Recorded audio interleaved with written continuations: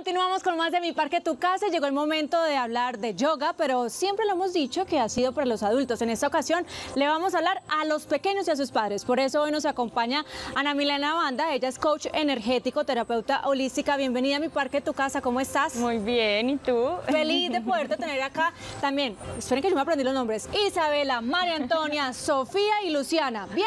Bien. Con la manito. ¿Me hacen así? ¿Bien? Eso. Hoy vamos a hablar de yoga para niños. ¿Qué significa esto y por qué es importante que ellos hagan esa práctica? Bueno, el yoga básicamente es unión. El yoga es poder unir cuerpo, mente y espíritu que se traduce en energía y desde el yoga lo manejamos a través de la respiración.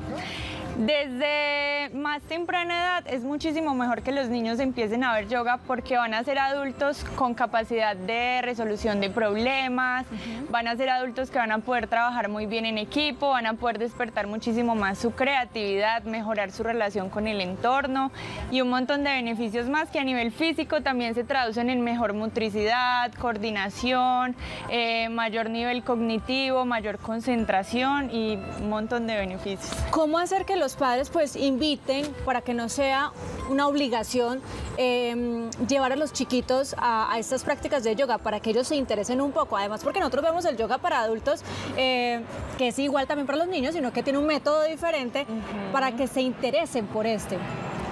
Bueno, yo creo que de ahí hay un tema muy grande y es que nosotros por ejemplo, estamos acostumbrados, digamos que venimos de una era en la que educan a los niños para que obedezcan, ¿cierto? Para que se queden quieticos, estudiando ocho horas, no se muevan, no modulen. Eh, y ya vienen niños demasiado despiertos, con mucha creatividad, con muchas ideas, con una pluralidad de conocimiento, eh, con, un con un espíritu crítico. Ellos quieren cuestionar, aprender, saber y muchas veces eh, eso a nivel de padres, porque no tienen muchos, como todo ese conocimiento, entonces los llevan a un médico y los diagnostican como niños hiperactivos o como niños con trastornos de atención o muchos otros trastornos, ¿cierto? Entonces, ¿qué pasa ahí? Que tenemos que entender que somos nosotros quienes debemos saber llegarle a los niños y a través del yoga se les puede llegar de una forma muy divertida y les vamos a permitir potenciar mucho más como esa curiosidad, porque finalmente ellos van a ser como los científicos, los innovadores, los que rompen el molde y los que traen y vienen a enseñarnos realmente ellos a nosotros un montón de cosas. Me gusta eso y además que tú ya nos dices un significado de lo que es yoga para niños y claro, tú tienes tu significado de lo que es para ti, yo tengo el mío, pero ¿qué tal si les preguntamos a ellas? Luciana, ¿qué significa para ti eh, la práctica de yoga? Eh, conectarnos con nuestro ser interior. Oh, por Dios.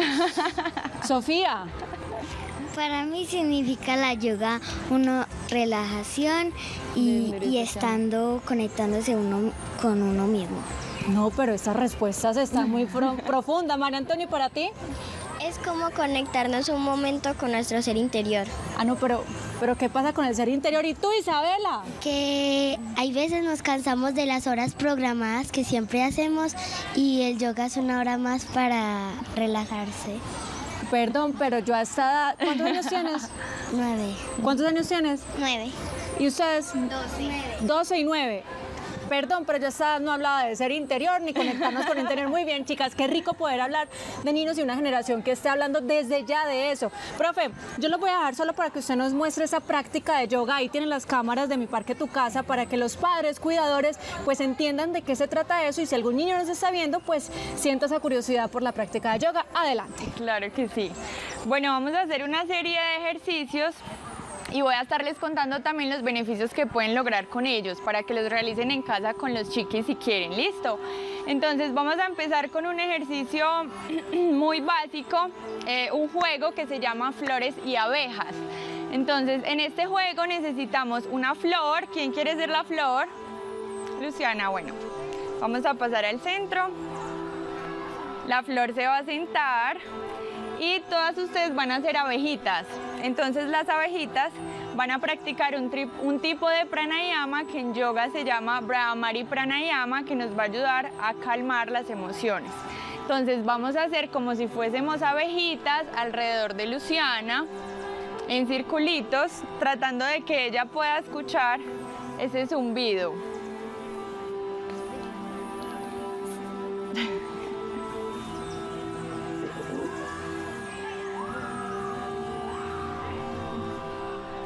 Que ella lo escuche en los oídos. Muy bien. Miren que es algo demasiado fácil, pero esa vibración lo que nos permite es conectar con el OM, que desde el yoga es el sonido de la creación, y nos va a permitir calmar las emociones. Cuando un niño esté un poco iracundo o se sienta frustrado o esté muy triste, puede hacer este zumbido como si fuese una abejita. Si no está en equipo, lo puede hacer él solito también. Y lo que le va a permitir es controlar esas emociones, disminuir la ansiedad y eliminar la ira si la está sintiendo en ese momento. Entonces solamente con hacer inclusive para él mismo va a poder tener todos estos beneficios. Listo. Bueno, vamos a hacer otro ejercicio muy chévere que nos va a permitir eh, ponernos en los zapatos del otro y desarrollar la empatía como niños. Y es un juego que se llama espejito, espejito. Entonces necesitamos un espejo de ustedes cuatro. Bueno, llama espejo primero. Entonces recuerden que como espejo ustedes van a tener que reflejar lo que está haciendo la compañera, ¿cierto? Entonces vas a hacer una postura de yoga, la que tú quieras o hayas aprendido. Muy bien. Y aquí lo que buscamos es que los niños generen empatía y traten de ponerse en el lugar de la otra persona, ¿cierto? ¿Quién más quiere ser espejo? Otro espejo. Vas a ser espejo. Haz una postura de yoga, la que tú quieras, y para que ellas la hagan igual que tú. Aquí también lo que impulsamos es que los niños con sus propias capacidades, con su cuerpo y con sus actitudes, logren hacer lo mismo que está haciendo la otra persona, pero a través de explorar sus habilidades y su cuerpo físico. Otro espejo, ¿quién más va a ser espejo? ¿Qué postura quieres hacer? Uy, el bailarín. Muy bien, aquí vemos también cómo las posturas de yoga nos permiten desarrollar equilibrio, fortaleza y tenacidad. ¿Quién falta por ser espejo? ¿Qué postura quieres hacer? La tabla. Muy bien, listo. Bueno, aquí vemos cómo cada niño tiene que buscar la forma de poder hacer lo que hizo el espejo que estaba reflejando, pero adquiriendo, digamos, o explorando sus propias capacidades, ¿cierto? Vamos a hacer otro juego que se llama atención números. La meditación es algo muy muy muy importante en el yoga porque nos va a permitir conectar con esa fuente divina.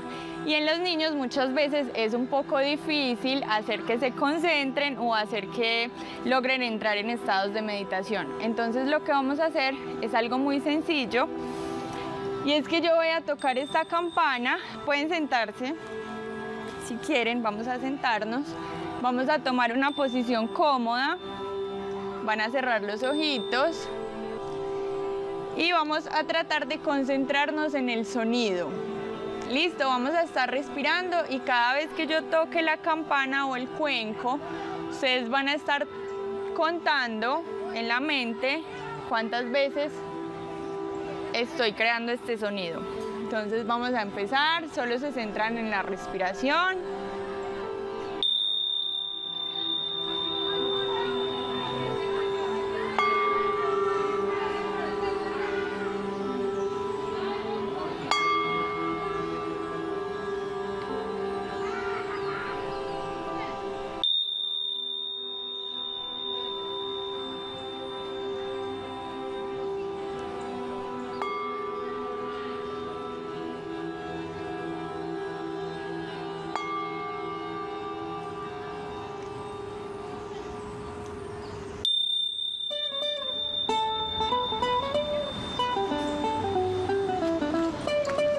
Vamos a inhalar profundo.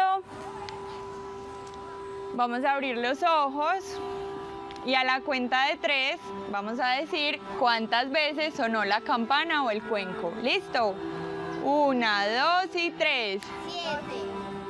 ¿Qué? Escuché ¿Cuántas? ocho. Tú, tú. Siete. Siete. Ah. bueno, aquí lo que buscamos es que los niños conecten con sus sentidos y que viajen hacia el interior. Listo, todo el tiempo hay mucho ruido, hay muchas cosas que estar haciendo afuera, por eso es difícil encontrar una forma de meditación para ellos, pero esto es una forma muy fácil porque ellos van a cerrar sus ojos, van a ir hacia el interior y van a concentrarse solamente en esos sonidos. Es lo mismo que como adultos en una meditación nos piden que cuando llegue un pensamiento lo dejemos pasar y volvamos al momento presente. Esta campana o este sonido es un ancla para que ellos regresen al momento presente. ¿Listo?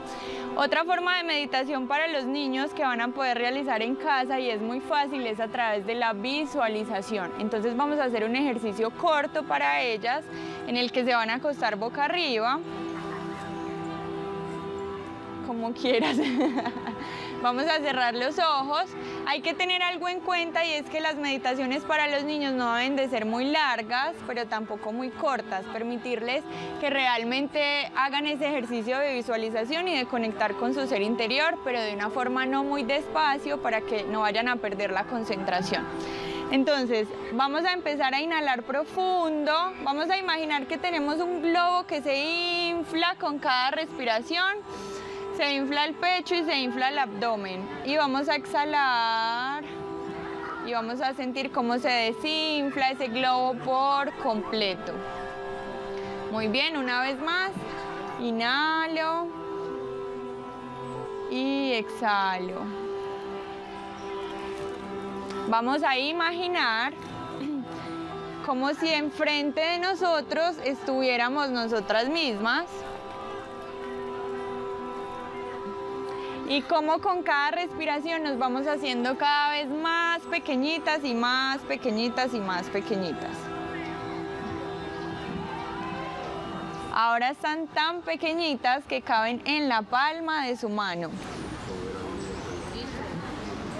Y vamos a emprender un viaje y en ese viaje vamos a ir hasta nuestro corazón.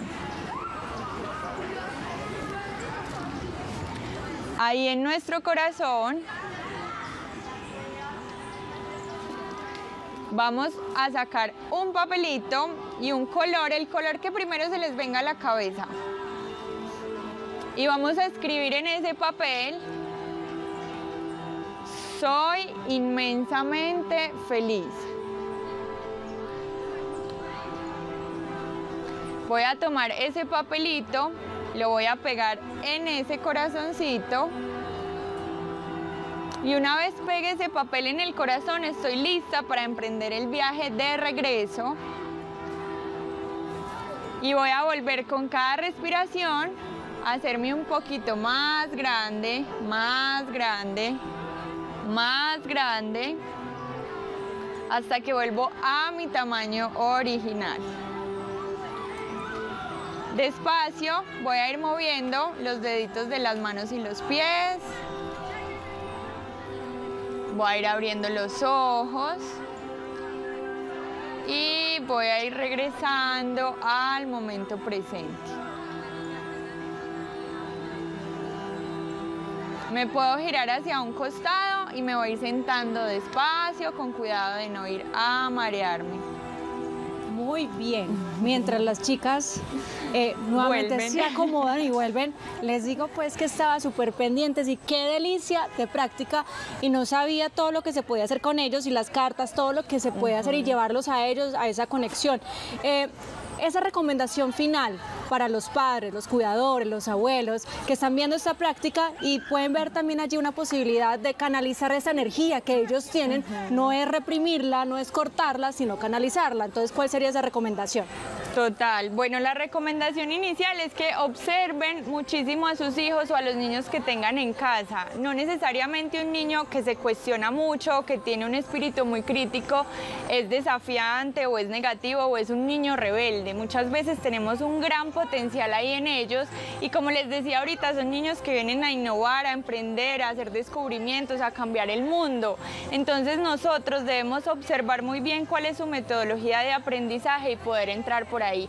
Digamos que a veces en los colegios ahorita estamos generando un cambio, pero puede que eh, a nivel educativo no se vea muy rápido ese cambio, pero a través del yoga podemos ir impulsando todos esos conocimientos que ellos tienen, toda esa curiosidad, toda esa necesidad de, de aprender, de querer buscar respuestas y de crear. Entonces, como no apagar eso, sino antes impulsarlo y digamos que a través del yoga con diferentes herramientas, con juegos y de forma muy lúdica vamos a poder apoyarlos en este proceso de aprendizaje. Perfecto. Redes sociales, donde te podemos encontrar, donde podemos llevar a nuestros chiquitos también a este camino del yoga. Bueno, damos las clases de yoga en Samasti Casa de Bienestar. Allá vamos a estarlos esperando a todos. Em, número de celular 305-309-6666 y las redes son arroba samasti.casa de bienestar o arroba almaviva.holística.